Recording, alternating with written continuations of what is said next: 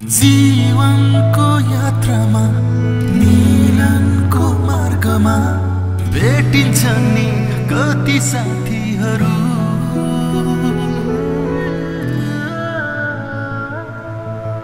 पल पलका अतीतहरू अजुम्बरी रहनेछन् विरतीका कथाहरू नमस्कार। प्रत्यक्ष परोक्ष रूपमा कार्यक्रम जीवन साथीको पर्खाइमा रहनुभएका समादरणीय दर्शकहरूलाई हार्दिक नमन गर्दै कार्यक्रम जीवन साथीको नयाँ अध्याय प्रस्तुत गर्ने अनुमति चाहन्छु म नारायणपुरी। धेरै दिनपछि उनीलाई भेटे मिरमिरे साँझमा किन हो किन बल्झियो माया मुटुको माझमा? मुटुको माझ बल्झिएको माया लाग्न थाल्यो जाति मनले रोजेको मुटुले खोजेको पाए है जीवन साथी। दर्शकबिन मुटुले रोजेको र मनले खोजेको जीवन साथी पाउँदा को खुसी हुँदैन होला र? आज त्यस्तै मनले र मुटुले रोजेको र खोजेको जीवन साथी जो पछिल्लो समयमा अत्यन्त चर्चामा पनि रहनुभयो र सफल जीवन साथी हुनुहुन्छ स्मार्ट जीवन साथी हुनुहुन्छ उहाँहरूलाई म प्रस्तुत गर्नको लागि सानो उहाँहरूको एउटा परिचय दिन चाहन्छु।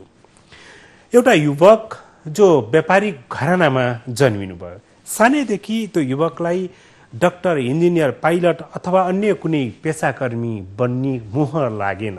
उहाँको रोल मोडल भनेकै उहाँको पिता हुनुहुन्थ्यो र व्यापारी बन्नकै लागि उहाँले कमर्स लिएर पढ्नुभयो। उच्च शिक्षाको लागि अमेरिका जानुभयो युके जानुभयो अध्ययन गर्नुभयो तर सामान्यभन्दा सामान्य समय बिताउन पनि इन्टर्नसिपकै लागि आफ्नै बुवाको व्यवसायमा सहयोगी भएर आफूले इन्टर्नसिपको काम गर्नुभयो। उहाँका जीवनसाथी युवती पनि त्यस्तै विलक्षण प्रतिभाका धनी हुनुहुन्छ। मिस नेपाल टु थाउजन्ड नाइनको उपाधि विजेता हुनुहुन्छ। नेपाली चलचित्र रजत पटकी सफल नायिका प्रियङ्का कार्कीको अत्यन्त निकट साथी। प्रियङ्का कार्कीले ऊ साथीलाई लिएर एउटा विशेष समारोहमा जाँदाखेरि दुईजनाको भेटघाट भएको थियो। त्यो भेटघाट भएपछि उनीहरू असल मित्र बने। असल मित्र भएका व्यक्ति केही समयपछि असल प्रेमी बने। दर्शकबिन असल प्रेमी भएका व्यक्ति हालसालै मात्रै असल जीवनसाथी भइसकेका छन्। उहाँहरू को हुनुहुन्छ होला त? उहाँहरूको परिचय म यसरी प्रस्तुत गर्न चाहन्छु। मैठुली भैचुरे आइदेऊ घुम्टी ओढाइदेऊ हजुर रेशमा सुनवारको चर्चित यो गीतमा मोडलिङ गरेकी छिन् पूर्व मिस नेपाल जनिसा मुक्तानले। यो गीतको भाव जस्तै उनका प्रेमी उनको जीवनमा औपचारिक रूपमा जीवन साथीको रूपमा प्रवेश गरिसके अनि जेनिसालाई घुम्टो पनि ओढाइसके। पछिल्लो समय सबैमाझ चर्चामा रहेको जोडी हो व्यवसायी डिकेस मल्होत्रा र पूर्व मिस नेपाल जेनिसा मोक्तानको। भर्खरै वैवाहिक बन्धनमा बाधिएका हुन् डिकेस र जेनिसाको जोडी। पूर्व मिस नेपाल जेनिसा मोक्तान र व्यवसायी डिकेस मल्होत्राले आफ्नो प्रेम जीवनलाई सार्थक बनाउँदै पारिवारिक सहमतिमा विवाह गरेका हुन्। विदेशमा सँगै एकसाथ अध्ययन गरिसकेपछि नेपाल फर्किएर डिकेसको व्यवसायमा नै जेनिसाले आफूलाई पनि आबद्ध गरेकी थिइन्। ग्ल्यामर फिल्डबाट टाढा रहेर जेनिसाले व्यावसायिक जीवनलाई अँगालिरहेकी छिन्। यता डिकेस सम्पन्न परिवारमा जन्मिएका शान्त र भद्र स्वभावका छन्। उनको व्यक्तित्वमा आकर्षित हुने धेरै छन् तर उनी आकर्षित भए चञ्चले स्वभावकी जेनिसाको व्यक्तित्व र सुन्दरतासँग परिवारको खुसीलाई महत्व दिने व्यवसायी डिकेस मल्होत्राले पारिवारिक पेसालाई नै आफ्नो पहिचान बनाएका छन् र उनको सोच र उद्देश्यमा साथ दिएकी छिन् उनकी जीवन साथी जेनिसा मोक्तानले। बाँकी जीवन एकअर्काका साथ जिउने अठोटमा अगाडि बढेका जोडी डिकेस मल्होत्रा र जेनिसा मोक्तान मल्होत्राको प्रेम र सहकार्य अनि औपचारिक रूपमा गाँसिएको सम्बन्धको अनुभव र भविष्यमा र भविष्यका लागि बुनेका सपनाका कथाहरू प्रस्तुत गर्नेछौ आज कार्यक्रम जीवन साथीमा।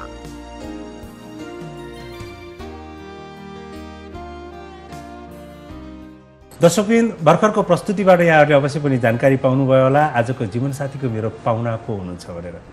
पछिल्लो समय असाध्यै चर्चामा रहनुभएको एउटा युगल जोडी एउटा सफल जीवनसाथी आज मेरो पाहुना हुनुहुन्छ। उहाँ हुनुहुन्छ श्रीमान दिकेश मल्होत्रा र उहाँका जीवनसाथी जेनिसा दिकेश मल्होत्रा। आउनुहोस् दर्शकवृन्द आजको अध्यायमा संयुक्त रूपमा उहाँहरूलाई कार्यक्रममा स्वागत गरौँ। यहाँहरूलाई कार्यक्रममा हार्दिक स्वागत छ। धन्यवाद। सबैभन्दा पहिला कार्यक्रमको सुरुवातमा मैले एउटा अनुमति माग्छु। हजुर। हाम्रो एउटा सम्बन्ध र सम्बोधनको हिसाबले जस्ताको तस्तै त्यो सम्बोधन गर्ने अनुमति चाहन्छु म। किनभने सोध्नै पर्दैन किनभने आदरणीय दर्शकबिन दिकेश मल्होत्रा मेरो प्रिय भतिज हुन्। उनलाई म सानैदेखि देखेको छु। उनको मुस्कान उनको हँसिलो अनुहार सबैलाई आदर गर्ने आफूभन्दा सिनियर मान्छेलाई सम्मान दिने जुनियरलाई माया गर्ने उनको त्यो बानी र त्यो अन्तरङ्गको कुराकानी गर्नको लागि पनि मैले त्यो अनुमति मागेको हुँ। त्यसकारण पनि यो अहिलेको करिब हाम्रो एक घन्टाको बसाइमा हामीले एउटा रमाइलो अन्तरङ्गको कुराकानी गर्छौँ। यहाँहरूको प्रेमको कुराहरू गर्छौँ जीवनसाथी भइसकेको कुराकानी गर्छौँ। ती सबैको लागि पनि म अनुमति चाहन्छु। ठिक छ? म पहिला जेनिसाबाट जान चाहन्छु। असाध्यै राम्रो यो स्मार्ट दम्पति। किनभने एकअर्काको निकट साथी भएर होइन साथी भइसकेपछि एकले अर्कोलाई बुझिसकेपछि प्रेम प्रस्ताव राखेर अनि फेरि असल प्रेमी भएर आफ्नो खुट्टामा उभिन सक्ने आफ्नो सेल्फ आइडेन्टिटी र स्टाटस बनाइसकेपछि मात्रै वैवाहिक जीवनमा जाने जीवन साथी बन्ने भनिसकेपछि जीवनसाथी बनेको। जेनिसालाई कस्तो लागिरहेछ? पहिलाको प्रेमी दिकेश र अहिलेको श्रीमान दिकेशमा फरक के हुँदो रहेछ? हुन त एक महिना जस्तो भयो एक महिना लगभग। म- मलाई खासै त्यस्तो डिफ्रेन्ट दिगेशको रूप मैले देखिसकेको छुइनँ। बिकज हामी धेरै वर्षसम्म हामी सँगै थियौँ सँगै काम पनि गरिरहेको थियौँ एकअर्कालाई एकदमै नजिकबाट परिवारहरू जानेको बुझिसकेको थियौँ। त्यो हिसाबले पहिल्यै पनि ऊ मेरो जीवनसाथी नै मैले सोचिसकेको भएको. हुनाले यो एउटा अफिसियली हस्बेन्ड भनेर एउटा ट्याग चाहिँ दिएको छ तर खासै त्यस्तो डिफ्रेन्ट त छैन। छैन है? नट यसमा खासमा पहिल्यैदेखि नै अब मैले भनिरहेको थिएँ। उसले कति कुरा यो गरे हुन्थ्यो नि यस्तो गरे हुन्थ्यो नि भन्दाखेरि मैले पहिलेदेखि नै यो म किन गर्ने मलाई यस्तो त्यो गर्नु छैन त्यो देखावटी कामहरू म गर्दिनँ। जे छु म त्यो पहिले पछि पनि म त्यही नै हुन्छु। त्यही भएर पछि गएर तिमीलाई त्यो नहोस् कि तिमीले पहिला यस्तो भन्थ्यो तिमीले पहिला यस्तो गर्थ्यो आजकल गर्नु जुन अब भनौँ न मेरै मम्मीले पनि भन्दा हुन्छ त्यहाँ प्रायःले भनिरहन्छ। त्यो सन्दर्भ किन निकालेको भने यो पुरुष प्रधान समाज छ हामी कहाँ र अनि विवाह अगाडि प्रेमिका हुँदाखेरि पुरुषले अथवा प्रेमीले के भने हुन्छ भने आकाशको तारा झारिदिउँला होइन? तिमीलाई के चाहिन्छ पुऱ्याइदिन्छु होइन? समयमा पनि एकदम पङ्क्चुअल हरेक कुरा मान्ने हुन्छ। अनि विवाह गरेको भोलिपल्टदेखि ऊ श्रीमान भएर हैकमबाजी चलाउनु खोज्छ। त्यस कारण मैले यो सन्दर्भ जोडिरहेको छु के? त्यस्तो हो जेनिसा त्यस्तो त खासै होइन खासै होइन होइन होइन त्यस्तो त्यस्तो अहिलेसम्म चाहिँ भएको छैन। एउटा घरायसी विशेष कार्यक्रममा विशेष गरेर प्रियङ्काको एउटा विशेष कार्यक्रममा दुईजनाको भेट भएको थियो। हजुर। अब जेनिसालाई के कुराले प्रभाव पार्यो यो मान्छे म त्यतिखेर मिस नेपाल नै थिएँ रेनिङ मिस नेपाल हुँदाखेरि नै भेटेको दिकेशलाई र त्यसभन्दा अगाडि पनि मैले मोडलिङ क्षेत्रमा अलिअलि कामहरू गरिसकेको थिएँ र अलिअलि फेमस पनि भइसकेको हो, थिएँ भनौँ हो। न। सो प्रायः जस्तो मान्छेहरूसँग भेट्दाखेरि मलाई चिनिसकेको नै हुन्थ्यो अथवा एउटा मेरो बारेमा सर्टन इमेज बोकेको हजुर हो। हुन्थ्यो जस्तो मलाई लाग्छ। तर। दिकेश त्यतिखेर अमेरिकामा पढिरहेको थियो। र उसलाई चाहिँ खासै थाहा पनि थिएन। मतलब चिन्थ्यो मलाई। बट देन त्यस्तो उसको दिमागमा प्रिसेट इमेज जस्तो पनि थिएन र एकदमै सिम्पल थियो। सो मलाई चाहिँ उसले भनौँ न त्यस्तो मलाई एकदमै भाउ नदिएको अथवा एकदम वा तिमी त यस्तो हो। नगरेको हुनाले चाहिँ आई युज टु फिल कि रमाइलो एकदम कम्फर्टेबल भनौँ न कि एउटा नेचुरली एउटा फ्रेन्ड हुनु। सके। म उसँग। त्यो भएको हुनाले चाहिँ फर्स्टमा इनिसियली चाहिँ त्यो भयो त्यस पछाडि दिकेश मन विचार अब- म त अलिकति लजालु स्वभावको छु। सो सुरुमा भेट्दाखेरि म त अलि टाढा टाढा नै भएको थिएँ ऊ अब जस्तो प्रियङ्कासँग हुँदाखेरि म अब ऊ अलग्गै कोठामा हुन्थेँ म अलग्गै कोठामा हुन्थेँ। सो खाने बेला त्यस त्यस बेला सँगै ठ्याक्कै एकछिन भेट भेट्ने त्यस्तो टाइपको मात्र थियो। भनेपछि नर्मल साथीको हिसाबले रह्यो त्यसपछि सँगै युके पढ्न गइयो युके त्यस पछाडि लगभग ऊ अमेरिकामा उसको ग्रेजुएसन सकाएर आएर हामीसँगै काम पनि गऱ्यौँ यहाँनिर। त्यस पछाडि एक वर्ष जस्तो पछि हामी युके त्यो युके जानु अगाडि असल साथी मात्रै थियौँ कि प्रेमी प्रेमिका भइसक्यो ए होइन भइसकेको थियो। भइसकेको त्यो थियो बेला? त दुई वर्ष जस्तो असल भइसकेको थियो। प्रेमी प्रेमिका युगा युकेसँगै पढ्न भेटेको एक दुई हप्तामा कुरा मिलिसकेको थियो। मिलाएर बिकज जेनिसाको के कुराले प्रभाव पार्यो? मेन अब बानी बेहोराहरू. सिम्पल सिम्पल छ होइन। सहयोगी। जोसँग पनि घुलमेल हुन सक्ने। कुरा ठ्याक्क मिलाएर त्यो सुरु सुरुमा भेट्दाखेरि जोकर धेरै भन्थ्यो उसले हँसाइरहन्थ्यो। त्यो कुराले मन पर्थ्यो। मलाई हँसाउनु मन लाग्छ उसलाई हाँस्नु मन लाग्छ एक्ज्याक्टली त्यही भएर मिलेको ऊ जीवनभरि हाँसेर बिताउनु पर्छ भन्ने मान्छे हो होइन हरेक दुःखद अनुभूतिलाई पनि मान्छेले त्यो जीवनको एउटा अध्याय भनेर लिन जानेको मान्छे हो होइन त्यसकारण पनि मेरो दिदीले त उसलाई उसको नाम हसमुख राखिदिएको थियो कि किनभने मेरो दिदी क्यानाडामा हुनुहुन्थ्यो। अनि स्काइपमा कुरा गर्दाखेरि अनि म दिकेश कुरा गरेर हेलो भन न दिकेश गरेर बसिरहन्थ्यो स्माइल मात्रै गरेर अनि। कति साह्रो हसमुख हो तेरो बोयफ्रेन्ड त भनेर भन्थ्यो मलाई जहिले पनि ऊ त जहिले हाँसेर मात्रै बस्ने ल अब म एकछिनलाई भनौँ न दुईजना असल साथी हुँदाखेरि। प्रस्ताव त कसैले नि कसैलाई राख्यो। होइन? मौनम सम्मति हेर्दा हेर्दै मलाई मन परायो अथवा मैले पनि मन पराएँ भन्ने त भयो। प्रस्ताव कसले राख्यो पहिला? प्रस्ताव चाहिँ मैले राखेको ओहो हेलो सुनौँ सुनौँ कहानी सुनाउँछ त्यो प्रस्ताव राख्दाखेरि के भनिएको थियो? अब त्यही प्रायः जुन भन्ने गरिन्छ।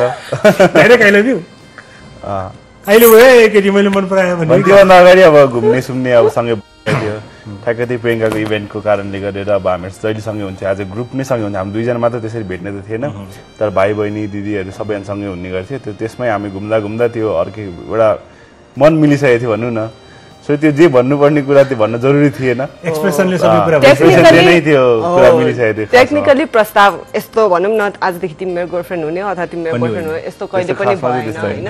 इट वाज जस्ट एकदमै नेचुरल प्रोग्रेसन जस्तो मात्रै भयो। अचानक हामी बोयफ्रेन्ड गर्लफ्रेन्ड भइसकेको थियो विदाउट द प्रपोजल अनि लाइक अघिको कुरासँग म जोड्न चाहन्छु। म जहिले भन्छु दिकेशलाई कि तिमी त मलाई प्रपोज पनि गरेनौ। तिमी त के हो बोयफ्रेन्ड जस्तो पनि छ। अलिक यसो पनि गर यसो पनि गर भन्थ्यो। अनि उसले चाहिँ म जिन्दगीभरसम्म म जे गर्न सक्छु म त्यति मात्रै गर्छु हेर। अहिले बोयफ्रेन्ड भयो भन्दैमा ओभर नाटक गर्नेवाला छैन भनेर उसले मलाई भन्थ्यो। त्यो पनि खासमा मलाई ठिक लागेको पनि त्यो मन परेको वान अफ हिज क्वालिटिज है? हजुर। त्यो दिकेशले त्यतिखेर बोलेको के? अरू थुप्रै कुराहरू साथी हुँदा कुराकानी गर्यो। तर यो एउटा चिज उसले यस्तो मिठो बोलेको थियो जुन कुराले मलाई असाध्यै भन्ने याद छ? एज अ वर्ड यस्तो या त एउटा सेन्टेन्स यो भनेर त मलाई याद छैन होइन? तर दिकेशको इम्प्रेसन जुन छ मेरो माइन्डमा स्टार्टिङदेखि मलाई सबभन्दा राम्रो लागेको चाहिँ ऊ एकदमै फ्यामिली ओरिएन्टेड छ. होइन आमा बुवालाई माया गर्ने रेस्पेक्ट गर्ने होइन जोक गरेर बस्ने एक किसिमको अर्कै खालेको एउटा एडमिरेसन हुन्छ नि। परिवार समेटेर बस्नुपर्छ सबलाई माया गर्नुपर्छ इज्जत गर्नुपर्छ टाइपको उसको बोलीमा पनि र उसको बानीमा पनि थियो स्टार्टिङदेखि नै। अहिले पनि त्यो कुरा अहिले पनि। अहिलेसम्म पनि त्यही नै छ। र मलाई पनि भनौँ न म उसको गर्लफ्रेन्ड हुँदा पनि उसले मलाई एकदमै फ्यामिली नै ट्रिट गर्थ्यो। न कि यो आज मेरो गर्लफ्रेन्ड हो भोलि होला नहोला भन्ने कहिले पनि फिल भएको थिएन भनौँ। सो एकदम टेक केयर गर्ने फ्यामिलीको बारेमा त्यो चाहिँ सबभन्दा राम्रो लागेको बारेमा देखिए जस्तो घरमा पनि अब मम्मी ड्याडी पनि मम्मी ड्याडी नभएर साथी जस्तो हुनुहुन्छ किनभने त्यो घरको माहौल जुन छ त्यो सबै सिक्नुपर्ने माहौल छ कि? अनि जेनिसासँगको त्यो सम्बन्ध मुखले फोडेरै ड्याडी मम्मीलाई भन्नु पर्यो कि पुरै कुरा पहिला पुगिसकेको थियो। त्यो अब नेपाल काठमाडौँ भनौँ न पहिला यति सानो छ कि यहाँ हाँछु गऱ्यो नि उता थाहा भइहाल्छ वाल टाइपको छ। त्यसमा पनि पहिल्यै सबै थाहा बुवालाई। भइसकेको थियो। अब जेनिसा पहिले सबैले चिनिहाल्छ प्रायः मिस नेपाल भएको कारणले गरेर प्लस अब पापालाई पनि सबैले चिन्नुहुन्छ। अब पापा कुरा पहिला? पुगिसकेको ए हो भनेर क्रस चेक गरेर सोधेको याद छ सोध्नु भएको छ? अब त यो सुनेको कि त्यो वर्क भनेर हाँसी हाँसी। अब त्यसमा खासमा भन्नुपर्दाखेरि चाहिँ हामी दुईजनाकै फ्यामिलीबाट थाहा भयो यो कुरा थाहा भइसकेपछि दुइटैको फ्यामिलीमा रिस्ट्रिक्सन्सहरू आएको थियो। अब यो जातहरूको कुराहरू जुन आउँछ किनकि अब भनौँ न ऊ तामाङ भयो। म अब छेत्री ऊ भयो। त्यसले गरेर अलिकति सुरुमा अलिकति प्रब्लम भएको थियो कन्भिन्स गराउनु टाइम लगाएको थियो। तर हामी दुईजना चाहिँ कन्टिन्युसली सक्छौँ हामीले भनौँ कन्भिन्स गराउन सकिहाल्छौँ। जातवात कुरा ठुलो होइन हामी दुईजना कन्भिन्स हुनु पऱ्यो सबभन्दा पहिला। त्यसपछि आफ्नो फ्यामिली कन्भिन्स हुनु पऱ्यो फ्यामिली कन्भिन्स भइसकेपछि समाजले के भन्छ अरूले के जीवन भन्छसँग त्यति ठुलो कुरो होइन। पछि प्यारेन्टले एक्सेप्ट गरिसकेपछि सबैले एक्सेप्ट गरिहाल्छ भन्ने मेरो सोच थियो त्यही नै भइहाल्यो। जेनिसाले घरमा कन्भिन्स गर्दाखेरि गाह्रो पर्यो। एकैछिन दर्शकबिन यो एउटा उदाहरणीय जोडी। अहिले पछिल्लो समय त सर्वाधिक मन पराइएको जीवनसाथीको जोडी। तर घरमा प्रस्ताव लानको लागि केही असहज परिस्थिति त अवश्य पनि थियो होला। के थियो होला? यो छोटो व्यापारिक विश्राम यो छोटो व्यापारिक विश्रामपछि फेरि स्वागत छ कार्यक्रम जीवनसाथीमा र आज हामीसँग जीवनसाथीको पाहुना हुनुहुन्छ दिकेश छाया अहिलेको सन्दर्भमा फेरि जोड्छु। किनभने एउटा इन्टरकास्ट होइन अब त्यो इन्टरकास्ट म्यारेजको कुरा आयो घरमा आमा बुवालाई कन्भिन्स पनि गर्नुपर्ने कुराहरू पनि आयो। त्यो कन्भिन्स गर्दा कहाँबाट सुरु गरेँ इनिसियली त मेरो पेरेन्ट्सलाई खासै त्यस्तो भनौँ न। अब यही केटालाई नै बिहा गर्छ भन्ने उहाँहरूले सोच्नु भएको थिएन होला सायद। सो त्यस्तो खासै इनिसियल रियाक्सन त्यस्तो ठुलो थिएन। पछि पछि चाहिँ कुरा अलिक अझै सिरियस हुँदै गएपछि चाहिँ अलिकति उहाँहरूलाई पनि भनौँ न पचाउनु अलिकति गाह्रै भएको थियो किनभने अब म पहिला पनि मिस नेपाल हुनुभन्दा अगाडि पनि मिस तामाङ भइसकेको थिएँ। र तामाङ समाज पनि एउटा क्लोज नेट कम्युनिटी नै हो जसमा सबले मलाई चिन्थ्यो। त्यो भएको हुनाले अब त्यस पछाडि गएर म मिस नेपाल भएँ। सो एउटा तामाङ प्राइड एउटा भनौँ न हाम्रो हाम्रो छोरी यस्तो भन्ने एउटा चलन। पनि थियो। र त्यस पछाडि धेरै खासमा मेरो मम बाबाले भन्दा पनि धेरै बाहिरको मान्छेहरूले सुनाएर होला होइन? आमा फला फलानाको छोरी त मल्होत्रासँग लागिरहेको छ and all that type of कुरा भइसकेपछि सुनेर सुनेर उहाँलाई पनि धेरै अफेक्टेड भएको थियो र जा अब सुनिरहेको भनौँ न सरनेम्सहरू भन्दा अन्त अब मल्होत्रा भनेर प्लस मलाई त भन्दा प्रायः धेरैले इन्डियन भन्ने भन्न थाल्छ Indian, जुन चाहिँ अब क्लियरली म नेपाली नै हो। अनि एकदमै अब इन्डियन बोयफ्रेन्ड बनाएर हिँडेछ यो त्यो भन्ने कुराहरू आइसकेपछि इन्डियन हो यसले बम्बई लगेर हो। बेचिदिन्छ त्यो भयो त्यस पछाडि चाहिँ उहाँहरूलाई पनि अलिकति अप्ठ्यारो जस्तो फिल हुन्थ्यो अनकम्फर्टेबल फिल हुन्थ्यो। तर मेरो मम पापाले पनि अ, उहाँ दिकेशको पेरेन्ट्सलाई पहिल्यैदेखि। चिनिसकेको हुनाले नराम्रो फ्यामिली होइन भनेर चाहिँ थाहा थियो फ्रम द बिगिनिङ तर यो मात्रै हो कि अब मिलेन एउटा होइन जात जसले पनि चाहन्छ कि आफ्नै जातमै होस् त्यो माथि छो छोरी मलाई लाग्छ जस्तो अब दिकेशको घर त त्यो अन्तर्जातीय विवाहको एउटा उदाहरण हो होइन किनभने पापा मम्मीको पनि अन्तर्जातीय विवाह हो होइन क्षेत्रीय समुदाय र नेवार समुदायको बिचमा त्यतिखेर पनि भयङ्कर उदाहरणीय प्रेम जोडियो त्यो होइन। उहाँहरू कसरी सभासदको गाडी लिएर गएर भागेर बिहा गर्नु भएको समाजमा कसरी गर्नु त्यो असु रमाइलो पक्ष छ। तर उहाँहरूले आफूले भोगेको त्यो प्रेमको कारणले सजिलैसँग दिकेशलाई सहयोग भएको थियो कि अथवा उहाँहरूको पनि केही अब्जेक्सन अथवा केही रिजर्भेसन थियो? त्यो स्टार्टिङमा अब्जेक्सन हो होइन इन्टरकास्ट हुने बित्तिकै सबभन्दा पहिला आज भनौँ न आमा बुवाको सोच मेरो विचारमा चाहिँ के आउँछ होला भने छोरालाई गाह्रो नहोस् बाहिर धर्मको बाहिर जातको आउँदाखेरि छोरीलाई गाह्रो नहोस् भन्नेको सोच आउँछ। सेकेन्ड प्रब्लम भनेको समाजले सोसाइटीले एक्सेप्ट गर्ला नगर्ला सबले कुरा काट्ने हो कि भने त्यो डर एउटाले गरेर पनि अब्जेक्सन आउने हो। मेरो केसमा चाहिँ बाहिरको भन्दा पनि खालि गाह्रो नहोस् ऊ नहोस् भन्ने हिसाबले चाहिँ स्टार्टिङमा अब्जेक्सन आएको थियो। तर मैले होइन म त यही नै हो भने फिक्स गरिसकेँ भन्ने हिसाबले त्यसरी नै अगाडि बढेँ। अलिकति छोटो टाइममै त्यो कन्भिन्स हुनु भइहाल्यो। र मेन अब पापा कन्भिन्स भएपछि एन्टायर फ्यामिली कन्भिन्स भइहाल्यो। त्यसपछि कसैले केही भन्ने त कुरै उसको केसमा चाहिँ के भन्दाखेरि दिकेश एकदमै सोझो होइन सानैदेखिको एकदम गुड बोय अनि म हेर्दा बदमास्नी जस्तो उहाँलाई अलिकति टेन्सन भयो होला बिचरा हाम्रो सोझो छोराले कहाँबाट अब यस्तो केटी भेटायो भन्ने यस्तो भएको थियो होला। तर उसको लाइक मैले भनिहालेँ उसको र उसको पापाको एकदम एउटा स्ट्रङ कनेक्सन जस्तो छ तपाईँले सोध्नु भएको जस्तो। उसले कहिले पनि भन्नु परेन कि होइन पापा म त उही बिहा गर्ने यताउता कहिले यो कन्भर्सेसन भएको छैन होइन। उहाँले अलिकति टाइम लिनुभयो तर उहाँले आफैले बुझ्नुभयो। र म, दिकेशको ममले पनि भनौँ न स्टार्टिङदेखि बुझिदिनु भयो एकदमै ब्रड माइन्डेड हुनुहुन्छ। तिमीहरू हेर तिमीहरू यो यो जरुरी छैन कि तिमीहरू आज भेटेको छ भन्दैमा भोलिको दिनमा बिहा हुन्छ नै भनेर। किनभने where life takes you you don't know होइन।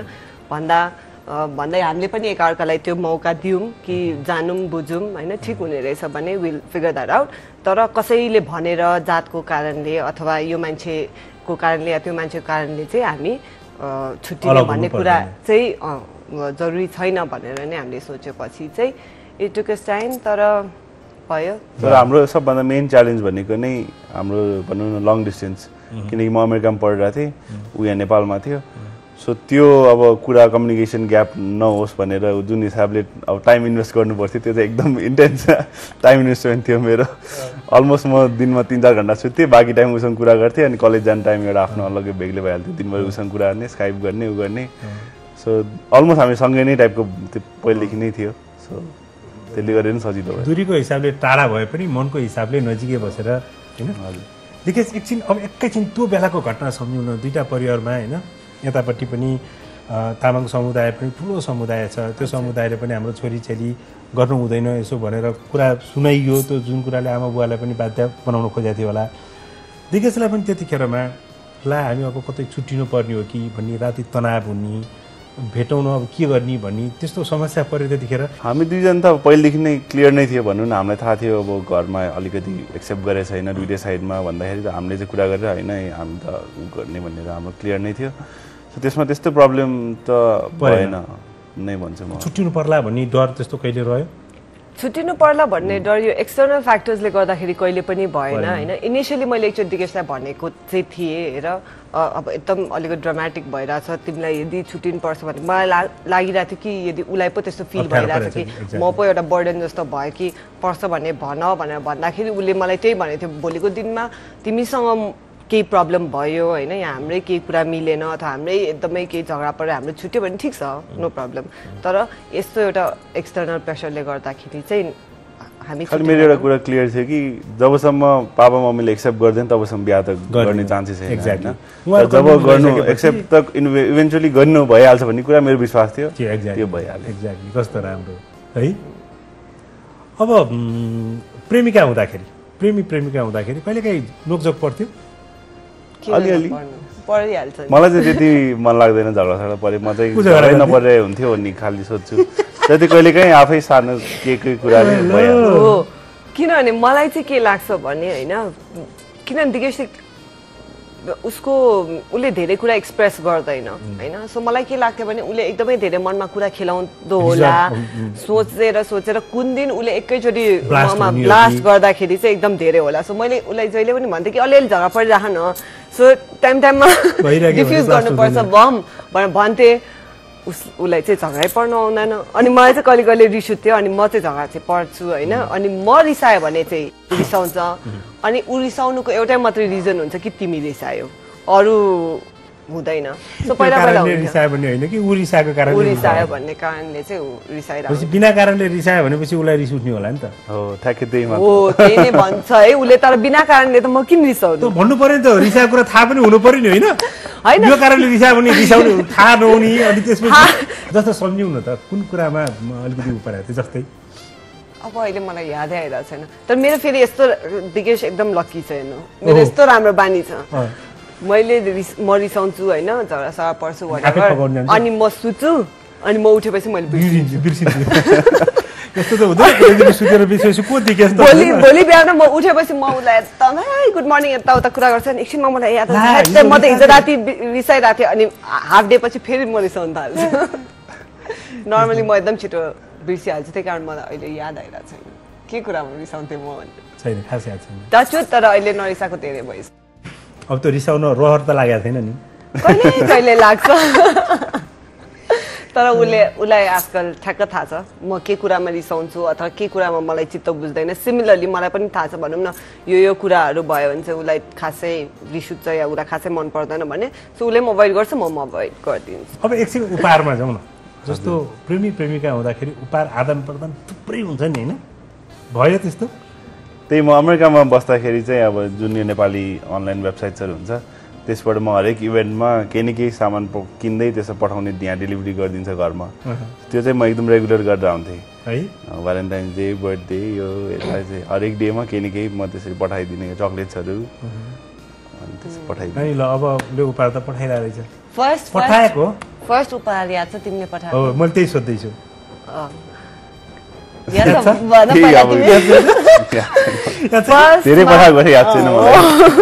फर्स्ट टाइम उसले पठाएको चाहिँ पठाएको भन्नु मिल्दैन। उसले के गरेछ?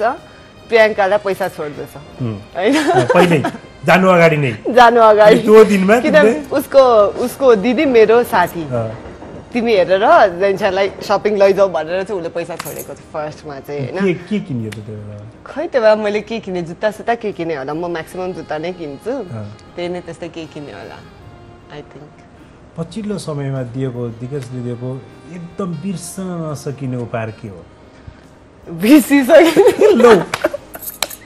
बिर्सन यस्तो छ दिगेशले नि आफै लाइक उसले अघि नै भनिहाल्यो म त एकदम त्यस्तो रोमान्टिक जेस्टर्सहरू गर्दैन भर्खर उसले यस्तो किनेर ल्याएर दिने यस्तो छैन होइन? मलाई नै लगेर जान्छ मैले जे उठाए पनि किनिदिनु चाहिँ किनिदिन्छ।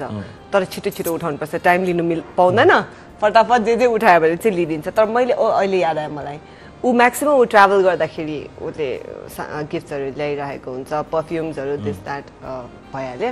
र एकदम रमाइलोवाला चाहिँ लास्ट टाइम ऊ कोरिया गएको बेलामा चाहिँ उसले मेरोलाई बेडरुम चप्पल टोपी यस्तो टुप्पी भएको टोपीहरू ल्याइदिएको थियो। अनि मैले इमेजिन गरिरहेको थिएँ कि यस्तो सुटेड बुटेडमा ऊ जहिले यस्तो यसरी हिँड्छ नि त। सुटेड बुटेड मान्छे गरेर यस्तो टुप्पी भएको टोपी कसरी किन्यो होला भनेर मलाई एकदम रमाइलो लागिरहेको छ। सो त्यो चाहिँ अलिक क्युट मैले एउटा ठुलो आइटम भन्दा पनि प्राय किन्दाखेरि धेरै कहीँ न कहीँ किनिदिन्छु, प्रयोगमा। आओस् याद रहोस्। अनि जेनिसाले दिएको उपहार? म खासै उपहारै दिँदिनँ। म झन् अनरोमान्टिक छु दिगेश भन्दा उसले चाहिँ अँ मलाई याद छ। मैले अब भनौँ न मेरो बर्थडेमा उसले रिमोट कन्ट्रोलको गाडी दिएको थियो मलाई। ओके। ओके। सो उसले दिने गिफ्टहरू छ त्यस्तै त्यस्तै बच्चा बच्चा खालीको हुन्छ रिमोट कन्ट्रोल गाडी त्यो म्याजिक कार्डहरू होइन हेर्नुहोस् दिगेशलाई मैले के दिने? मैले के दिने? मलाई उपहार भने यस्तो होला नि त जेनिसा उपहार भन्ने कुरो मूल्यसँग सरोकार रहँदैन। सरोकार रहँदैन। तर यादगारसँग चिनोसँग सो म जहिले पनि उसको बर्थडेहरू केही भयो भने म आफै बेक गरिदिन्छु बरु म पकाइदिन्छु म केक सेक बनाइदिन्छु डेकोरेसन्सहरू बनाउँछु क्युट क्युट कुराहरू म गर्छु त्यही भएर हो होइन? उसले एकदमै नकिन्ने सामानहरू रिमोट कन्ट्रोल गाडी उसलाई कस्तो रमाइलो लाग्छ त? उसले कहिले किन्दैन नि त्यो त्यही भएर मैले किनेर दिएको हो कि प्राय बर्थडेमा जस्तो दिकेशको बर्थडेमा पहिलो विस कसले गर्छ? पापाले मम्मीले अथवा जेनिसाले म त बाह्र बज्नु अगाडिदेखि नै म उसको फोन इन्गेज राखिदिन्छु। Eleven thirty. जस्तोदेखि म कुरा गरेको गरेको गर्छु, अनि त्यसपछि पहिलो अनि म फर्स्ट हुन्छ है। फर्स्ट उसैले गर्छ। कस्तो राम्रो अनि जेनिसाले मलाई पनि सेम दिगेशले नै गर्छ। ए हो? कहिले काहीँ होइन करिब यो तिन चार वर्षको अध्यायमा कहिले काहीँ बिर्सेको छ? बर्थडे त बिर्सेको छैन। उसले एक महिना अगाडिदेखि मेरो बर्थडे आउनु लाग्यो भने हरेक दिन भनिरहन्छ उपहार पाउनलाई? मौका पाउँदै पाउँदैन। म त त्यही भन्छु म रिस्कै लिँदिनँ होइन? अरूहरूले त एक्सपेक्ट मेरो बुढाले सम्झिन्छ कि बिर्सिन्छ कि सोचेर बस्छ होला म त चान्सै छैन। एक महिना अगाडिदेखि म भन्छु मेरो बर्थडे आउनलाई मेरो बर्थडे आउनलाई मेरो बर्थडे आउनलाई मेरो हरेक बर्थडे दिन उठ्ने बित्तिकै भेटेदेखि उसले त्यही मात्र भनिरह हुन्छ है? अनि बिर्सिने मौका कसैले पनि बिर्सिँदैन मेरो बर्थडे। उसलाई मात्रै होइन सबैलाई नै घरमा सबैलाई मम पापालाई सबैलाई।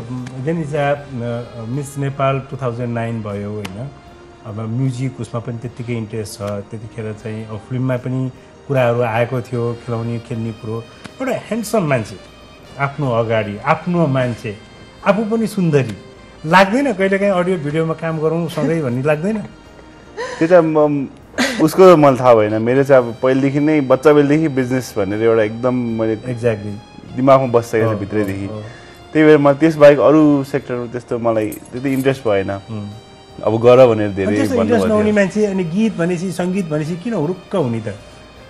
त्यो चाहिँ अब गाउनु चाहिँ रहर त्यो आफ्नो हबिजहरू भनौँ न। गाउनु बजाउनु अनि खेलकुदहरू त्यो सबै कानमा। एयरफोन आएर गीत आएपछि ऊ यत्तिकै निदाएको पनि हामीले कैयौँचोटि देखाएको छौँ अँ, प्रायः जस्तो अब कहिले रिस उठ्दाखेरि। पनि कामको टेन्सन हुँदा नि गाना म बजायो भने अलिकति काम डाउन भयो छ त्यहाँनिर छ उसले सानैमा पनि के गर्थ्यो भने जस्तो बाल कलाकार भएर खेल्ने कि भने ऊ खेल्न इच्छा छैन होइन डक्टर पनि पाइलट पनि इन्जिनियर होइन पापा जस्तो होइन बिजनेस पर्सन पनि आई थिङ्क उसलाई एकदमै ठुलो इन्सपिरेसन घरमै भएको हुनाले उसले. यताउता धेरै हेर्नै परेन हाम्रो लागि श्रद्धेय आदरणीय पूजनीय डोगनीय दिपक दाई अब म एउटा सन्दर्भ निकाल्न चाहन्छु किनभने परिवार छन् साथी छन् होइन? इष्टमित्र छन् थुप्रै आफ्नो मान्छेहरू छन्। हजुर। अनि ती मान्छेहरूसँग हरेक खुसी सुख बाँडिएको हुन्छ दुःख साटिएको हुन्छ। ती व्यक्तिहरू चाहे आफ्नो परिवारको सदस्य होस् चाहे आफ्ना निकट मित्र हुन् ती मित्रले यो जोडीको लागि यो उदाहरणीय जीवनसाथीको लागि केही समीक्षा दिनुभएको छ? केही कुरा बोल्नु भएको छ? हेर्ने होइन त। हामीलाई देखाउनुहुन्छ? एक्ज्याक्टली दर्शकबिन उहाँका निकट मित्रहरू आफन्तहरू अथवा साथीहरूले उहाँहरूको बारेमा बोलेको केही प्रेरणादायी अभिव्यक्ति। मैले जेनिसालाई चिनेको चाहिँ अलमोस्ट दस वर्ष भइसक्यो। ऊ र म सँगै मिस टिनमा प्रतियोगीहरू थियौँ। त्यति बेला पनि मलाई जहाँसम्म याद छ Jenisa always full of life जहिले हाँस्ने रमाइलो गर्नुपर्ने एकदम भेरी बब्ली र अहिले दिकेशलाई भेटेर पनि एक थोपा पनि चेन्ज भएको जस्तो लाग्दैन मलाई।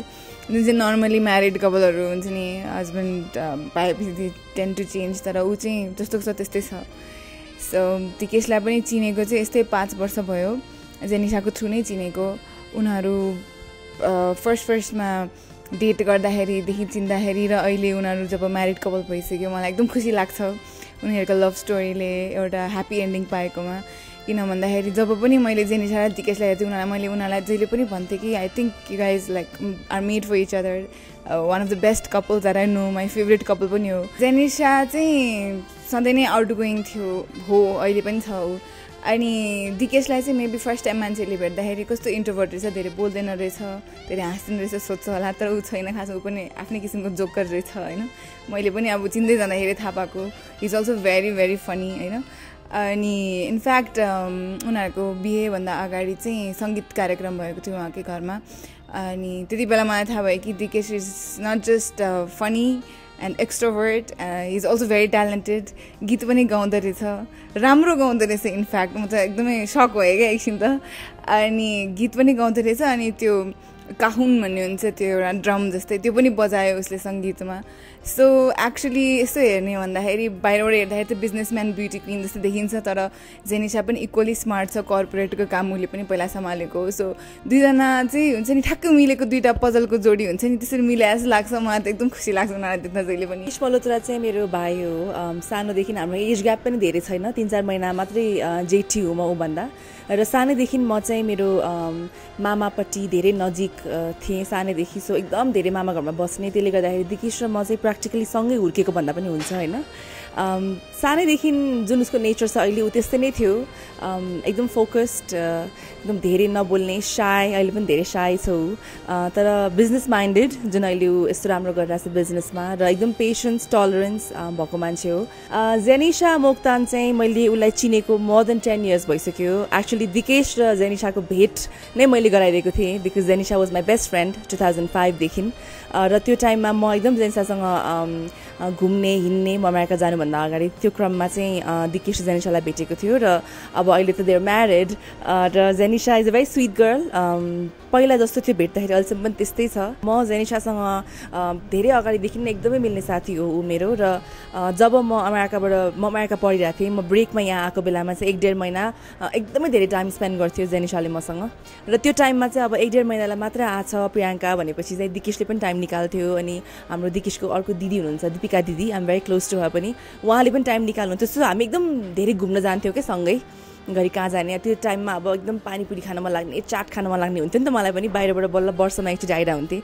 सो त्यही क्रममा चाहिँ जहिले पनि उनीहरू दुईजना पनि आउने अनि उनीहरूको बिचमा पनि अभियसली फ्रेन्डसिप हुँदै गयो। हामी जहिले भेट्थ्यौँ रमाइलो हुन्थ्यो। मेरो भाइ पनि थियो प्रणित त्यतिखेर पनि त्यो हाम्रो एउटा आफ्नै सर्कल हुन्थ्यो यङ्स्टर्सहरूको सो त्यो क्रममा चाहिँ उनीहरू बिस्तारै नजिक हुँदै गयो र त्यतिखेर नै जब मलाई थाहा भयो that they in a relationship म एकदम खुसी भएको थिएँ। अब मलाई अरू के चाहियो र भने जस्तो भएको थियो। एउटा आफ्नो भाइ हो एउटा आफ्नो बेस्ट फ्रेन्ड हो। सो अहिले आउँदा चाहिँ अब त्यो पललाई सम्झिँदाखेरि चाहिँ राम्रै काम गरेछु। यति राम्रो रिलेसनसिपको सुरुवात मबाट भयो भनेर एकदम राम्रो फिल हुन्छ। अब त्यस्तो त म औलाउन सक्दिनँ। They are both very nice people र मसँग उहाँहरूको एकदमै राम्रो रिलेसनसिप छ दुवैजनाको। दुवैजना एकदमै होमली हुनुहुन्छ फ्यामिली ओरिएन्टेड हुनुहुन्छ फ्यामिली भ्याल्युजलाई एकदम प्रायोरिटी दिनुहुन्छ। आफ्नो फिल्डमा सक्सेसफुल हुनुहुन्छ र अब फ्यामिली प्लान गर्नुहुन्छ होला छिटै। सो सल्लाह सुझाव भन्दा पनि I wish to see both of you happy forever र धेरै छिटो चाहिँ मैले सानो सानो भान्टाङ भुन्टुङहरू पनि देख्न पाऊँ because I think it's always good to have a very good family beginning start राम्रो स्टार्ट हुँदाखेरि र अहिले तपाईँहरूको आइम स्योर ड्रिम्स एन्ड होप्समा छ होला so I wish you a very happy married life कुनै कुराको आर्गुमेन्ट हुँदाखेरि उसले लजिकल्ली आर्गुमेन्ट गर्छ। भनौँ न जुन कुरा अब मैले कुनै कुरा एउटा गर्छु भन्छ उसले यो कुरा गर्नु हुन्न भन्छ तर उसले लजिक पनि दिन्छ मलाई। त्यो कुरा चाहिँ मलाई चित्त बुझ्दो कुरा हो होइन? अब बुहारीको कुरा गर्नु पर्दाखेरि चाहिँ नि अब सुशील छन् अब भनौँ न पहिलादेखि चिन्जान पनि हो। र एउटा घर व्यवहार कसरी चलाउने भन्ने कुरा पनि सबै थाहा छ उसलाई ह्यान्डल पनि गर्न आउँछ। दुइटाकै राम्रो पार्ट हो कि। अरू त सब ठिकै छ। अब अलिकति भनौँ न अब बिहान पनि चाँडै उठेर अलिकति आफ्नो स्वास्थ्यको पनि बिहान बिहान एउटा एक्सर्साइजहरू गरेर बेलुकी बेलुकी त जान्छ हो जिम गर्न जान्छ होइन। बिहान अलिक अबेर उठ्छ। दुवैजना चाहिँ बिहान चाँडै उठे जस्तो हुन्छ मलाई। उठे उठ्दाखेरि राम्रो होला जस्तो मलाई लाग्छ।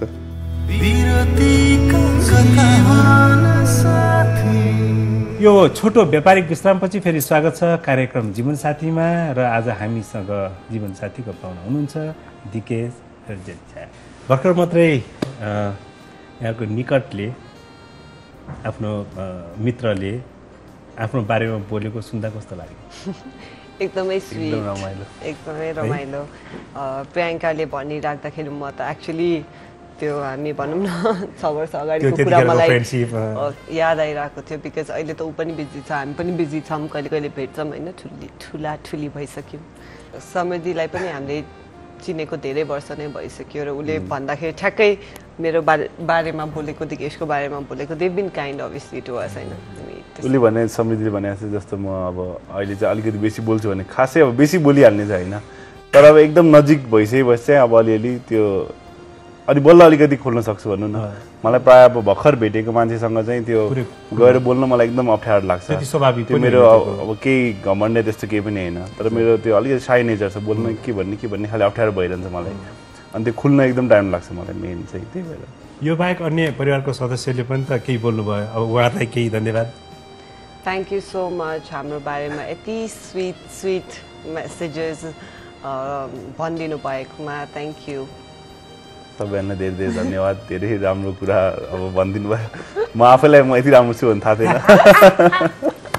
तर सबैले भनेको एउटा कुरा चाहिँ एकदमै ठिक हो जुन हामी दुईजना अलिकति अपोजिट्स नै छौँ र we tend to complement each other हरेक सिचुएसनमा कि सो त्यो चाहिँ एउटा स्विट यस्तो न्युटनको थर्ड ल अफ मोसनले पनि त्यही भन्छ। नि अब reaction and reaction are always equal and opposite नि होइन? त्यही भएर न्युटनले बनाएको तेस्रो नियम हो नि त्यही हो पहिला पहिला अपोजिट्स अट्र्याक्ट भन्दाखेरि म यसो हेर्थेँ दिगेश म त यस्तो पनि अपोजिट छुइनँ। एक्सटर्नल नेचर हाम्रो अलिकति अपोजिट छ। यो बोल्ने र नबोल्ने होला मेन हाम्रो एकदमै स्टार्क डिफ्रेन्स देख्ने। अदरवाइज भेरी भेरी सिमिलर हुन्छ नि हाम्रो मेन जुन भ्याल्युज छ about life and thinking this द्याटमा एकदम सेम छ। मैले कतिपय कुराहरू मैले सोच्दाखेरि उसले भन्दा मैले भर्खर सोचिरहेको थिएँ। या त मैले के भनेको छ अँ मैले पनि त्यही सोच एकदम सिमिलर छ। अपोजिट अट्र्याक्ट त हुन्थेन हाम्रो भनेको त नभन्दै अहिले त खासै अपोजिटै रहेछौँ। अँ। एउटा गुह्य कुरो थाहा भयो अहिले। मलाई त त्यो कुरा थाहा थियो बिर्सिएको थिएँ मैले। हजुर। समृद्धिले भन्यो। म्युजिकल इन्स्ट्रुमेन्ट बजाउने मात्रै होइन गाउने पनि अद्वितीय छ भनेर। अब यो कुरा त्यो थाहा पाइसकेपछि यदि मैले त्यो प्रस्तुति दिइनँ भने दर्शकहरू त मसँग रिसाउनुहुन्छ। उसँग भएको क्षमता पनि दिएन भनेर। समृद्धिले भनेको कुरा जेनिसाले रिक्वेस्ट गर्नु लजालु मुस्कानले प्रेसी चोरी लाग्यो। मन मेरो तिमीले मायालु केही त बोलन। चाहन्छु तिमी नै भन गाजलु आँखाले हेरन। लजालु मुस्कान पेसी। चोरी लाग्यो मन मेरो तिमीले। कस्तो राम्रो। थाहा छ बच्चैदेखि मैले मन पराउने केटीलाई चाहिँ यो गीत भन्नुपर्छ भनेर कण्ठ गरेर बस्या। तर उसले अहिले गाउँदाखेरि आफ्नै लागि गाएको जस्तो लजालु गर्दै मेरो लागि होइन। त्यो त दिकै मैले एकचोटि चाहिँ उसलाई अमेरिकामा हुँदाखेरि गाएर सुनाएको पनि थिएँ यो गाना। उसले खास। गाएर भिडियो खिचेर मलाई भिडियो पनि पठाएको थियो। कस्तो लाग्यो त्यतिखेर? त्यतिखेर? एकदम स्विट। अहिले? अब त्यो बेला त झन् हरे नसक्ने। अहिले पनि राम्रै छ। अहिले अब प्रायः सुनिरहेको हुन्छ त्यही। अहिले त अब अलमोस्ट सधैँ नै गाइरहेको हुन्छ उसले किनभने मै त हुन्छु वरिपरि। सुन्ने। मान्छे। विकेश जस्तो यस्तो ह्यान्डसम छ होइन? सबैको लागि प्रिय मुस्कान छ सबसँग मिलनसार छ। अब यो अफ द रेकर्ड सम्झ्यौँ। जेनिसाले केही गर्दैन। हजुर। पहिला जीवनमा कसैले पहिला कुनै युवतीले प्रेम प्रस्ताव राखेको थियो? पहिले राखेको थियो। राखेको थिएन त भन्नु मिल्दैन। राखेको थियो। अहिलेसम्म राख्छ है। हो र। पहिला भन्नु मिल्दैन। उसको फेसबुक इनबक्स चेक गर्नुपर्छ। यति धेरै मेसेजेस आइरहन्छ अब अहिले बिहा भएर चाहिँ थाहा छैन।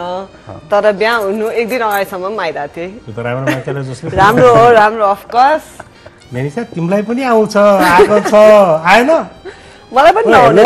प्रस्ताव त टन्नै नै आएको नै थियो नै थियो। भन्नु पर्दा। अहिले चाहिँ खासै धेरै भइसक्यो नआएको किनभने अब अब। दिगेश म त टेरिटोरी भयो अहिले अब जिम जान थालेछु नि त त्यही भएर आजकल आइहाल्छ त्यही भएर त जिमको फोटो ड्यागडुक राखेपछि राख्ने मान्छे पनि डराएर है कस्तो राम्रो जोडी स्मार्ट जोडी साँच्चै नि जस्तो भनौँ न राम्रो साथी भयो प्रेमी भयो अनि एउटा आत्मनिर्भर भइसकेपछि विवाह गरियो। परिवारको बच्चाको बारेमा के छ? प्रियङ्काले अलिअलि हिन्स दियो नि। प्रियङ्काले त्यो किन भनेको भन्दाखेरि म पहिल्यैदेखि त्यही नै भन्थेँ। अब दिगेश म बिहा गर्नुको केही रिजनै छैन जस्तो लाग्छ मलाई। लाइक मैले स्टार्टिङमा भनिहालेँ Digesh.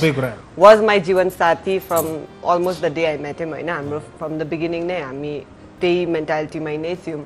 So for the at least minimum for the last तिन चार वर्ष त मेरो माइन्डमा फिक्स छ कि उही नै मेरो बुढा हो भनेर। सो त्यस्तो ऊ छैन। सो अरू त हामीले प्रायः जस्तो भनौँ न सबै ऊ नै भइसक्यो। अब बच्चा पाउने बेलामा हामी बिहा गर्ने हो। बिहा गरेको नौ महिनामा भन्थेँ मैले। त्यही भएर उसले त्यो भनेको हो। अब के त दर्शकले के बुझ्ने? अब त्यो बिस्तारै हुन्छ।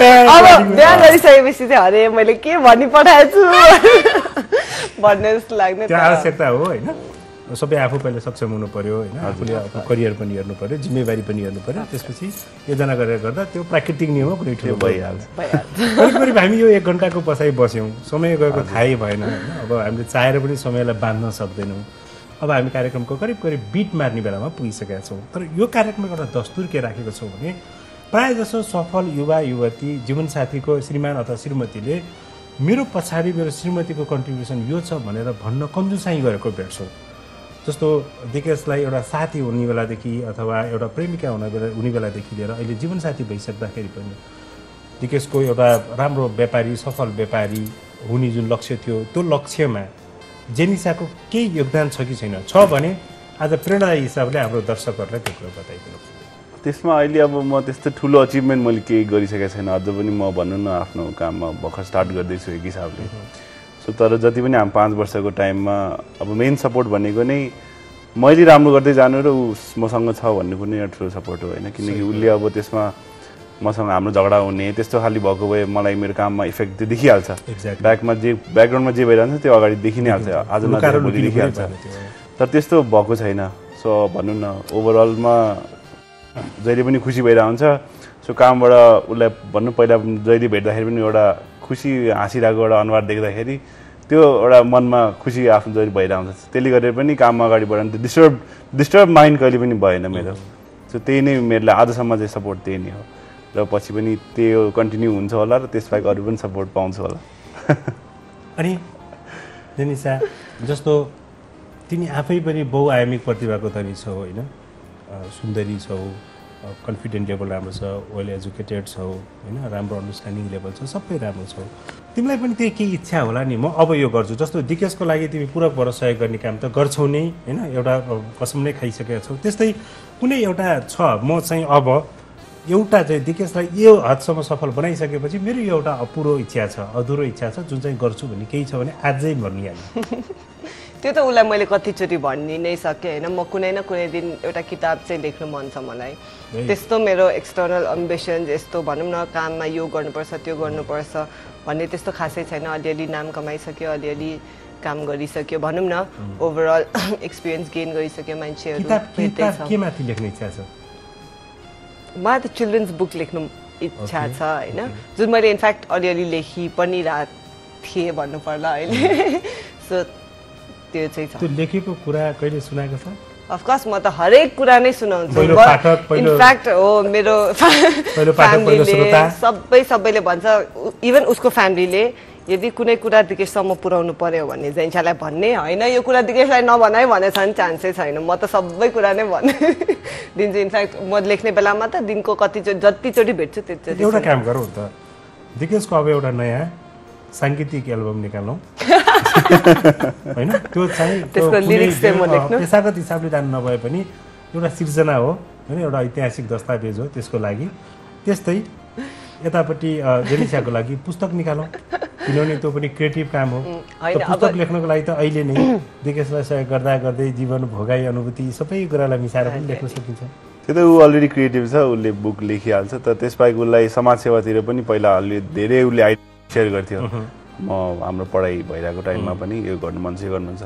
सो त्यही भएर पनि मेरो आफ्नो पनि पढाइ सिद्धि र यहाँ आइसकेपछि हामीले डिएम फाउन्डेसन भनेर पनि स्टार्ट गर्यो सो त्यसबाट पनि अहिले हामीले स्कलरसिपहरू दिइरहेछौँ स्कुलमा। सो सबै त्यसमा पनि उसैले नै हेरिरहेछ भनौँ न ठुलो सपोर्ट गरिरहेको त्यसमा पनि उसले सो त्यसैलाई अझै कन्टिन्यू गरेर अझै मोर बिगर स्केलमा हामी गर्न चाहन्छौँ।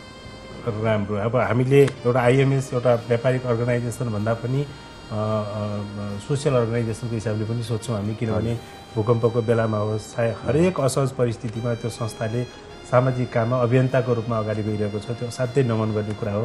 र त्यसको सक्रिय नेतृत्वदायी भूमिका निर्वाह गर्ने दुवैजना यहाँ हुँदाखेरि झन् हामीलाई खुसी लागेको छ।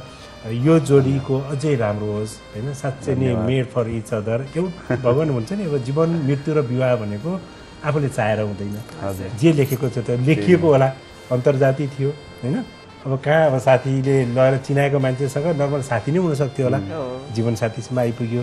त्यस कारण चाहिँ यो अध्यायसम्म आइपुग्दा जुन उदाहरणीय छ पछिल्लो समयमा सबैले माया आशीर्वाद आशीर्वचन दिएको यो जोडी छ। अझै सुखी होस् अझै सफल होस् अझै सफल होस्। र व्यस्तताको बावजुद हाम्रो यो सोलाई समय दिएकोमा हार्दिक कृतज्ञता ज्ञापन गर्न चाहन्छु। यहाँ सोमा बोलाइदिनु भयो। सो यो फर्स्ट टाइम हो हाम्रो यसरी सो दुईजना सँगै आएको पनि मैले अलग इन्टरभ्यू धेरै दिएछु उसले पनि दिएछ। सो सँगै आएको बिहापछि फर्स्ट सो हो। सो त्यसमा बोलाइदिनु भएकोमा धेरै धन्यवाद। एकदमै रमाइलो लाग्यो। मलाई अलिअलि स्टार्टिङमा डर लागिरहेको थियो। मैले त यसरी इन्टरभ्यू नदिएको त अलिक धेरै नै भइसकेको थियो त्यसलाई। के भन्ने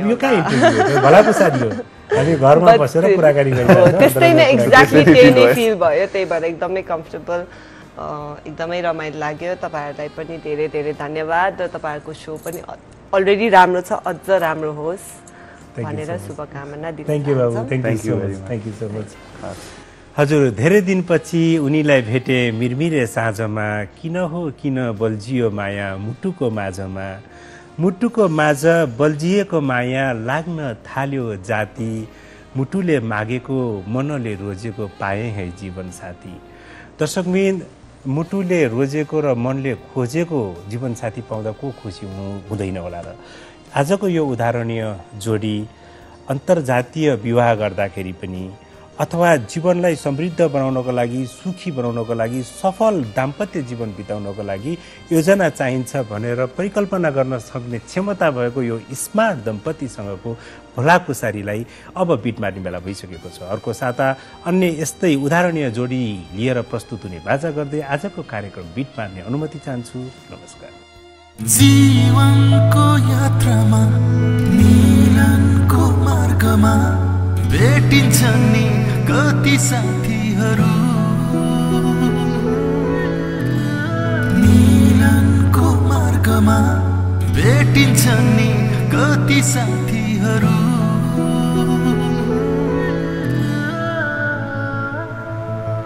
पल पलका अतीतहरू अजुम्बरी रहनेछन् विरतीका कथाहरू